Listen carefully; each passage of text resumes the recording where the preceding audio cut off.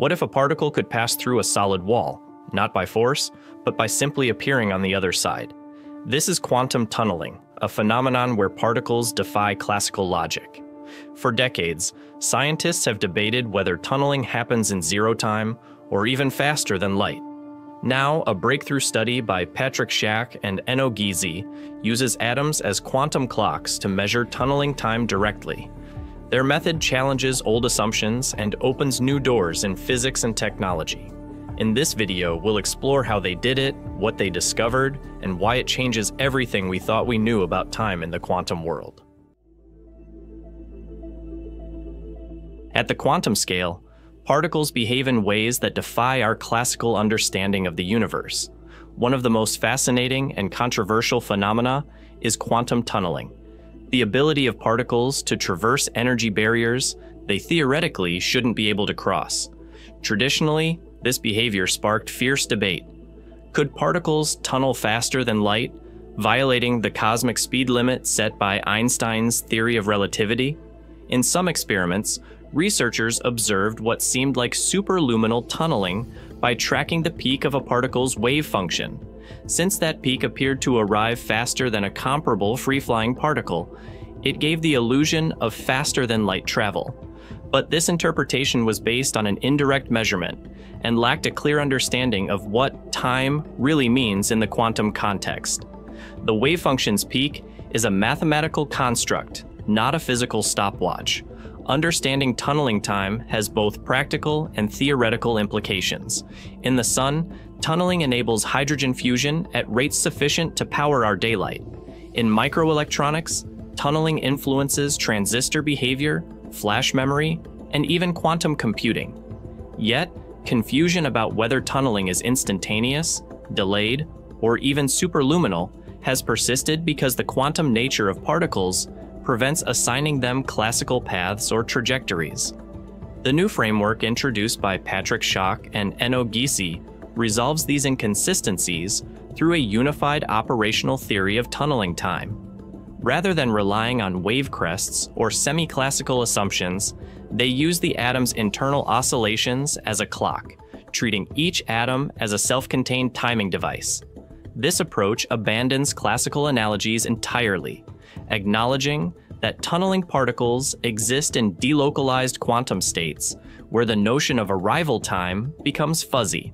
Their method builds on the principles of Ramsey interferometry, commonly used in atomic clocks. By initializing atoms in a superposition of two internal states, these researchers transformed each atom into a miniature quantum timepiece. The core innovation is that phase shifts between internal energy levels reveal how much time was spent tunneling, without ever needing to track the particle's position or assign it a velocity. Importantly, this method reveals a small but measurable delay, about 10 to the power of negative 26 seconds, refuting claims of instantaneous tunneling and preserving the sanctity of relativity. Schach and Giese's theory even unifies multiple previous definitions of tunneling time, such as Wigner phase time, dwell time, and Larmor clock time, into a single framework.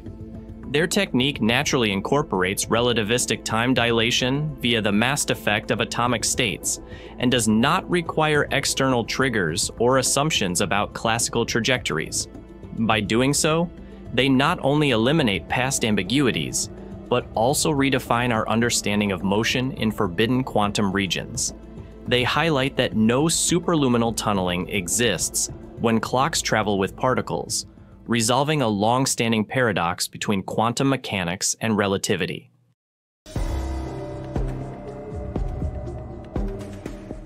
To truly measure tunneling time, Schach and Giese transformed atoms into Ramsey clocks, quantum systems that tick using internal state oscillations. Their experiment, outlined in Science Advances, uses a coherent superposition of two atomic states, forming a time reference that operates during and after tunneling. The core process unfolds in three stages. First, a pi over 2 pulse initializes the atomic clock by equally mixing the two internal states. Then, The atom encounters a potential barrier and may tunnel through it, with each state accumulating a state dependent phase shift based on its interaction with the barrier. Finally, a second PI by 2 pulse recombines the states and allows scientists to read the interference pattern, the phase difference between them. This phase difference contains three components the laboratory time, the relativistic time dilation, and the actual tunneling time. By comparing tunneled atoms with reference atoms that follow barrier free paths, the researchers isolated the contribution due specifically to the tunneling event. What makes this technique powerful is that it doesn't rely on indirect signals or complex modeling of wave packets. Instead, it reads time directly from the oscillations of internal atomic energy levels, akin to a stopwatch riding with the particle. This allows physicists to measure interaction time within the barrier, not merely when the particle arrives on the other side. To boost accuracy, the experiment uses ultra-cold atomic clouds, minimizing momentum spread and reducing uncertainty. Further refinements include delta kick collimation, which prepares atomic wave packets with ultra-low momentum spread, and double Bragg diffraction, ensuring both internal states receive equal momentum without bias. These steps allow for an unprecedented level of phase sensitivity. Moreover, Schach and Giese designed a differential measurement scheme, Two identical clocks are launched in opposite directions. One tunnels, and the other serves as a reference. This ingenious setup cancels out common noise sources, such as magnetic fields, laser phase noise, and relativistic time dilation, leaving behind only the pure tunneling delay. Their theoretical model also covers non-ideal conditions, including state-dependent barrier heights, mass defects, and Doppler effects. They mathematically separate these variables and show how to mitigate their influence. Even spurious phases from state-dependent momentum differences or imperfect trap releases are accounted for. Perhaps most notably, their approach transcends the limitations of earlier tunneling time theories. The Larmor clock method, for example, depends on spin precession inside magnetic fields and lacks a true frequency standard. In contrast, the Ramsey clock ticks at an optical frequency, orders of magnitude more stable and accurate. They also show that Gaussian barriers, common in experimental setups, induce lower tunneling times than rectangular ones, but the trend and detectability remain. By adjusting the barrier shape, width, and particle energy, the tunneling delay becomes both observable and tunable. Ultimately, the Ramsey clock technique offers a clean, relativistic compatible, and experimentally feasible way to observe time during quantum tunneling.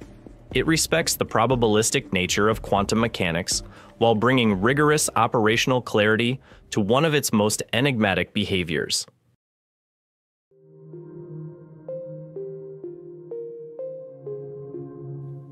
Schach and Giese's unified operational theory paves the way for a new class of quantum timekeeping and measurement tools.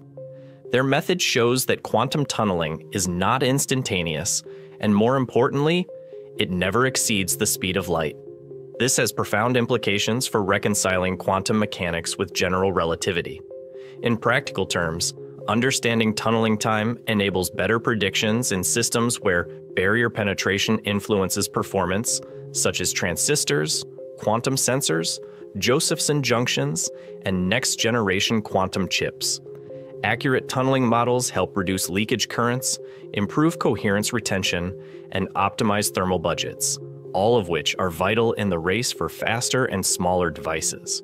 Moreover, their work feeds into quantum metrology. Ramsey clocks, enhanced by differential light shifts, could evolve into tools that probe short lived quantum states or detect minute gravitational distortions. This opens opportunities in fields like precision navigation, gravitational wave detection, and fundamental tests of spacetime curvature. The implications extend to philosophy of science and foundational physics. By showing that time in quantum mechanics can be both observable and quantifiable, their work counters the long held notion that quantum time is inherently undefinable. It bridges a gap where general relativity's world lines clash with quantum delocalization, revealing that even in classically forbidden regions, time persists as a measurable quantity. They also suggest that the tunneling delay can be artificially amplified by boosting the clock frequency through differential barrier engineering, such as tunable light shifts. This could push experimental accessibility into the realm of optical atomic clocks, where precisions on the order of 10 to the power of negative 18 seconds are already routine.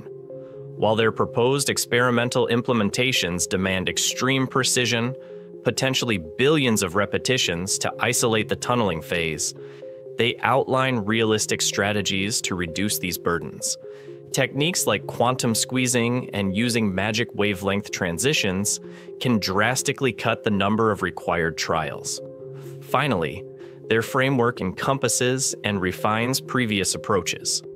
It integrates Wigner phase times, dwell times, and arrival times into a single coherent language rooted in observable phase shifts.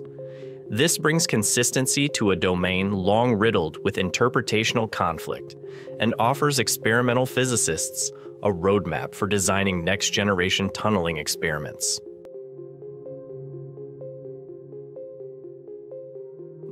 Thanks for watching.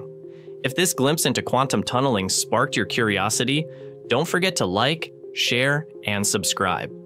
There's so much more to explore Stay tuned for the next dive into the wonders of physics. Until next time, keep asking questions and stay curious.